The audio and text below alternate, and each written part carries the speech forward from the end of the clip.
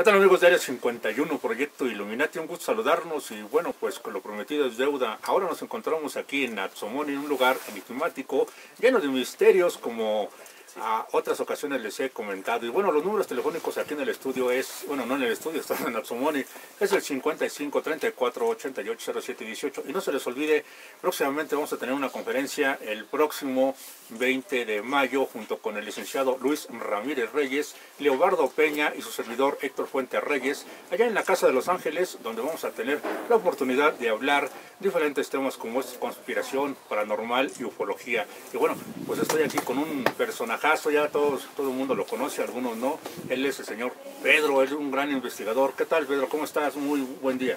Muy bien, un saludo a todos los amigos de Área 51, Proyecto Illuminati. Un gusto eh, y sobre todo pues, un, gran gusto para mí encontrarnos aquí en Alzomoni, a 4.200 metros de, altura sobre el nivel del mar.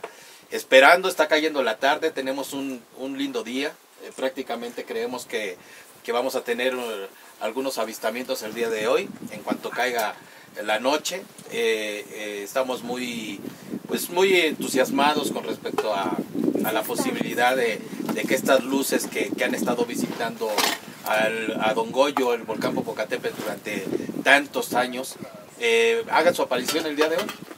Muy interesante. Bueno, para la gente que, que, no te conoce, ¿puedes describir cómo fueron tus inicios, el por qué te motivó a, a realizarte como investigador, principalmente en el tema eh, ufológico?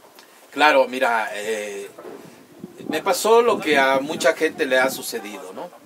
Yo a, los, a la edad de nueve años tuve una experiencia eh, muy cerca de la casa de mis padres. en la esquina de la casa pude ver un objeto pues de, de tamaño considerable que estaban observando primeramente muchas personas, eh, vi que estaban volteando hacia el cielo, yo tenía alrededor de nueve años. Y eh, este objeto se bamboleaba, no sabía yo qué era, la gente me llamó la atención que, en ese momento las personas mencionaban que, le hablan al aeropuerto, que hablan al ejército, entonces eh, sobre todo eso fue lo que a mí me, llamó la atención como niño, ¿no? Que, qué sucedía o qué era esa cosa que, hacía que, la, que las personas eh, insistieran en que hablaran al aeropuerto, insistieran en que hablaran al ejército, ¿no? Entonces, eh, desde ese momento entró para mí la curiosidad por saber qué era lo que, lo que se había visto, ¿no? Que era ese objeto redondo, porque era un objeto redondo oscuro, que se bamboleó y posteriormente se alejó hacia arriba, no se desapareció, no se fue rápido, sino fue bamboleándose hasta desaparecerse, ¿no? Eh, alejándose poco a poco. Desde ahí, pues bueno, yo empecé a consumir todo lo que, lo que era, lo que hablaba sobre extraterrestres. En aquellos años, pues bueno, estaban las revistas con eh, eh, Duda, este, Contactos Extraterrestres, que muchos recordarán, y los jóvenes, pues obviamente no, pero... Y posteriormente tuve la oportunidad de, documentarme lo, lo, más posible con respecto al fenómeno, y hace alrededor de 25 años bueno, pues tuve la oportunidad de, participar, mucha gente tal, vez este, me recuerde, eh, eh, fui cofundador del grupo de los vigilantes del cielo en, el año de febrero de 1992. Eh, formamos el grupo, un grupo de, jóvenes entusiastas en ese tiempo que, queríamos este, conocer más con respecto al fenómeno ovni. Comenzamos con nuestras cámaras handicap de aquellos años y y posteriormente empezamos a viajar todo lo que era alrededor de la Ciudad de México, desde Tepoztlán, Atlisco, a, aquí a Metepec, a, muchísimos lados. Y comenzamos a, tener la fortuna de ser los primeros, eh, de alguna manera, primeros este, vigilantes de, o buscadores de ovnis en México. Y empezamos a lograr, afortunadamente, tener evidencias de, estos este, de estos objetos que, sobrevolaban la Ciudad de México y pues toda, todas las zonas que, ya es descrito, ¿no? Y sobre todo el Popocatépetl, después de que entró en etapa de eruptiva. Oye, eh, se ha hablado muchas veces desde los años 90 al 91 del día del eclipse, recordarás, Así es. Eh, hasta estas fechas, 2017, eh, tú como investigador de la vieja vanguardia, ¿ha habido algún avance dentro de la ufología? Yo creo que sí, yo creo que sí ha habido avance y sobre todo la tecnología está permitiendo tener resultados mejores. O sea, ahora, ahora con la visión nocturna, eh, que ya existía, sin embargo, eh, el día de hoy implementada al, fenómeno ovni, está dando grandes resultados. Eh, nosotros en noviembre pasado, en el noviembre de 2016, nos encontrábamos en Amecameca. Tuvimos la oportunidad desde ahí poder estar observando el volcán Popocatépetl y a pesar de que tenía una leve neblina, y que no alcanzábamos a ver nosotros eh, visualmente eh, la montaña, bueno, pues el volcán, pudimos a través de la visión nocturna eh, ver cómo un objeto baja el 19 de noviembre, baja y pasa sobre la fumarola del volcán, sobre el cono volcánico y desciende sobre la ladera. Entonces, yo creo que, avances en general los ha habido, sin embargo, eh, pues sabemos bien, ya, lo han mencionado algunos escritores como escépticos sobre todo, eh, como Robert Schubert, que, mencionaban que, es un fenómeno celoso. Y sí es cierto, lamentablemente eh, es un fenómeno que se presenta cuando menos te lo esperas y, y, cuando lo más lo estás buscando en ocasiones no ocurre, no pasa. Entonces, lamentablemente el fenómeno ovni es así y así ha sido durante durante casi 70 años que, que, inició esta era moderna del fenómeno ovni, a pesar de que hay vestigios que indican que, que la presencia extraterrestre lleva, más lleva más de 10.000 años en la Tierra. Efectivamente, amigos, bueno, pues eso, eso lo dice la historia, los libros también. ¿no? Ahora, eh, han existido muchos contactados, recordemos a un Carlos Díaz, a un Enrique Mercado y otros que pues tienen tuvieron historias o experiencias que hasta el más escéptico convence. Ahora, pues están otros, otros tipos de contactados que tienen cierto tipo de mensajes. Eh, ¿Qué opinas al respecto? Eh, ¿Verdad o mentira de estos contactados? En lo personal he escuchado muy poco de ellos. He sabido que han estado brindando conferencias, han estado muy activos en muchísimos lados, incluso no hace mucho supe de un congreso de contactados en Guadalajara. Eh, lo cual pues me, a mí a mí todo lo que lo que tenga que ver con la difusión del fenómeno ovni me agrada. O sea yo no estoy en contra de ninguno ni de otro. Eh, obviamente no conozco las historias de, de, los nuevos este contactados que, que, actualmente están dando conferencias. No no las conozco. Conozco pues la historia de, la gente que ya lleva tiempo lo que lo que tú mencionabas. A Sarita o a Carlos Díaz. Yo en aquellos años tuve la oportunidad de de estar eh, durante muchas ocasiones en la casa de Carlos Díaz, en la azotea de Carlos Díaz. Desde ahí pude grabar algunos objetos, algunos objetos luminosos. Conocí la historia de Carlos y a pesar de que es un caso muy cuestionable, pues bueno, en lo personal a mí me tocó ver objetos voladores en su casa y, junto, a, y junto a él en Tepoztlán. Entonces, pues, yo creo que, que el caso para mí tiene algo de verdad, tiene tiene, tiene mucho de, verdad sobre todo, pero, pero los nuevos casos no los conozco, sé, sé que, existen y, y, si son verdaderos, quiero mencionarlo, pues me llena de alegría que siga ocurriendo eh, el contacto, ojalá que, que las personas que, que entran en contacto con estos seres también pudieran aportar pruebas, a pesar de que, de que yo no soy un periodista, sino hoy me he convertido en un divulgador del fenómeno ovni. Eh, yo quisiera que, las pruebas, porque esto es a final de cuentas, las evidencias son las que ayudan a que más gente pueda informarse y creer y acercarse al fenómeno ovni. Porque los testimonios para nosotros son muy válidos y, y, tú y yo lo sabemos. Para nosotros es muy válido. Conocemos a la gente, la podemos ver de cerca y como hemos vivido este, este, este fenómeno de cerca, desde luego que nos ayuda muchísimo eh, eh, eh, y conocer los testimonios y sabemos de que lo que nos están hablando. Pero para una persona que nunca ha tenido un encuentro con alguna luz, con un objeto volador no identificado, pues desde luego que un testimonio no siempre resulta creíble, pero una evidencia sí.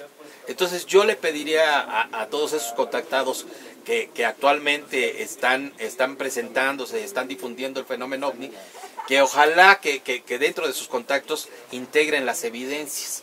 ¿Qué quiero decir con esto? Que puedan aportar pruebas del fenómeno ovni. ¿Cómo? Que, que, se lleven una cámara de video, que hagan una fotografía, que logren algo que, esto le va a ayudar a, que su testimonio tenga mucho más validez. No para nosotros, porque para nosotros sabemos que el fenómeno existe. O sea, nosotros ya no necesitamos que nos convenzan. Nosotros no necesitamos que, que, nos convenzan para nada, nosotros ya estamos convencidos. De hecho, nosotros ya no es una cuestión de fe, para nosotros ya, ya es una realidad el fenómeno ovni. Sin embargo, para, para, para, para, la gran mayoría de gente, que es a la que queremos llegar muchas ocasiones, que queremos que el mundo se entere que esto es real, sí necesitamos las evidencias. Entonces, por eso estamos aquí ahorita en Axomón. ¿Por qué? Porque queremos atestiguar, no solamente con testimonio, sino también con evidencias que el fenómeno existe. ¿Para dónde, ¿Para dónde vas como investigador? ¿Cuál es tu meta final de, o si existe alguna meta final dentro de la investigación? Como te comentaba, yo en realidad, más que investigador, hoy, hoy me encuentro difundiendo el fenómeno. ¿Qué me interesa a mí? A mí me interesa que la gente se informe que este fenómeno que, que, lleva ya casi 70 años, eh, eh, como era moderna, se enteren que es un fenómeno real, que no estamos locos los que hablamos del tema, que no estamos locos aquellos que, que, que, hemos visto y grabado ovnis, que, que en realidad somos gente que, que, estamos difundiendo algo cierto, algo que, que, que, va a trascender el día de mañana, que va a ser algo que, va a ser lo más importante, el día más glorioso de la humanidad, el día que lleguemos a hacer contacto y que todos lo podamos ver. Entonces, esa es la idea. Yo creo que, que, son tantas las evidencias que existen hoy en día, gracias al Internet, gracias al, al este, a, la difusión que se le da a través de redes sociales, que, que, que hoy, pues bueno, lo que yo quiero mantener es a la gente informada y entre más gente informada haya, pues más evidencia vamos a tener, porque entonces ya la gente va a voltear hacia el cielo y va a decir, oye, pues creo que sí hay, hay posibilidades de que, de que yo también grabe evidencias y bueno, empiecen a surgir mejores imágenes y más imágenes, que es lo que a mí me interesa, porque yo lo que quiero es que todo mundo sepa que el fenómeno ovni es real. Bueno amigos, ya saben, el tema ovni, bueno, eh, desde mi punto de vista, el tema ovni yo pienso que todo el mundo lo, ha visto, eh, puede ser basura espacial, globos sonda, trayectorias, satélites, infinidad de, cosas en el cielo, pero lamentablemente existen diversas eh, eh, personas que luego luego ven lucecitas en el cielo, algún ovni y luego luego lo catalogan como extraterrestres. ¿Cuál es tu teoría más acertada y qué diferencia hay de, tema ovni al tema extraterrestre? ¿Qué son para ti estos objetos voladores no identificados? ¿Crees que son de, los, de, los, grandes gobiernos, experimentos, o realmente vienen de fuera?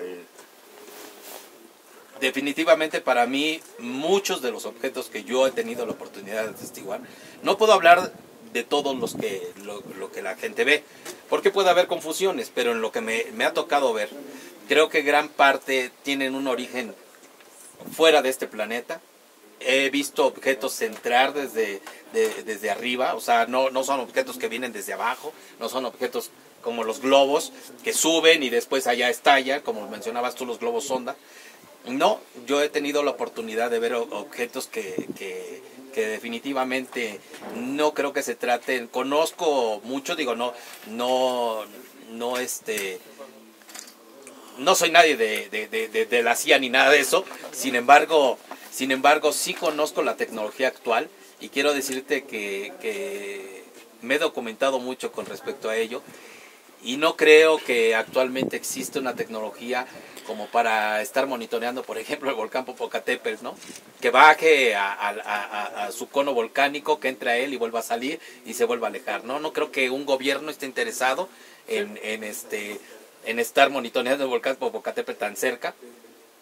Creo que tiene algunos de muchos de los objetos tienen su origen extraterrestre para mí en lo personal, y desde luego que existen los ovnis, ¿no? Los objetos voladores no identificados, y desde luego que también existen las confusiones. Hay muchas personas que se pueden confundir. De hecho, eh, yo hay unas cámaras que han estado grabando, y esto ojalá que lo pueda escuchar mucha gente. Hay cámaras que han estado grabando y monitoreando tanto el Ixtlachihuaco como el Popocatépetl. Y la gente que estamos aquí nos hemos dado cuenta, ustedes lo saben, es ruta de, de aviones. Y muchas veces la gente, como no lo sabe, han visto esos videos y de repente ven la luz y, dicen, ay, ahí va un ovni, ahí va un ovni. Y es un avión. Han estado grabando aviones. Entonces, eso no se vale, ¿no? Yo creo que, que la gente que tiene estas cámaras sí debería de indicarles cuándo se trata de un avión y cuándo se trata de un objeto volador no identificado, porque hacia acá atrás, hacia Puebla, también hay ruta de aviones. Entonces, y eso lo podemos hacer aquí, lo podemos identificar nosotros muy fácilmente, pues bueno, con algunas aplicaciones que, que permiten detectar ese tipo de, de, actividad, ¿no? Entonces, bueno, hay confusiones, pero yo creo que en lo personal, muchos de los objetos y el fenómeno ovni, eh, hablando a grandes rasgos, tiene su origen extraterrestre. ¿Qué consejo le darías, eh, ya nos, nos queda poco tiempo, qué consejo le darías a los jóvenes que se están iniciando dentro de la investigación? ¿A quién se pueden acercar? Pues sobre todo que se documente y sobre todo que traten de ser objetivos. También que lean un poco de, escepticismo, también es bueno leer eh, algo de escepticismo, algunos libros, y, y, sobre todo se documenten en la historia del fenómeno porque eso les va a ayudar a, tanto a, informarse en general cómo son los objetos, qué, cualidades tienen, qué, qué, características tienen que observar en un avistamiento. Entonces, cuáles han sido las confusiones, eh, también quiénes han sido los charlatanes, o sea, también este, se documenten en general del fenómeno ovni y que le entren con todo el entusiasmo del mundo. Es, es una actividad por ejemplo, el venir a, observar eh, o a buscar el, fenómeno a, donde se está presentando, pues es, es, una, es una actividad sana, que, que, no perjudica a nadie y al contrario, este, podemos aportar algo muy importante para la humanidad, que es eh, eh, descubrir o detectar por fin el origen de estos objetos voladores no identificados. Bueno amigos, como siempre lo he dicho, que un verdadero investigador de cualquier tema que se dedique no es el que está detrás de la computadora estando copiando y pegando. Un verdadero investigador, así como don Pedro aquí y otros que están detrás de cámara, pues eh, van al lugar de los hechos, pasan hambre, pasan sed. Eh, eso es para mí un verdadero investigador. Y pues gracias. Eh, ¿Dónde te pueden localizar? ¿En las redes sociales? ¿Algún correo electrónico? Sí, bueno, a mí me pueden encontrar a través del Facebook como ufólogo Pedro Ramírez. Ahí me pueden localizar, ahí comparto mucha información que se está generando a nivel global y bueno, pues este, allá los espero y yo te agradezco muchísimo tu atención, el, el, estar aquí fue una sorpresa para mí y, y la verdad este, lo agradezco mucho y, y, espero volverlos a encontrar por acá y, y también en donde sea.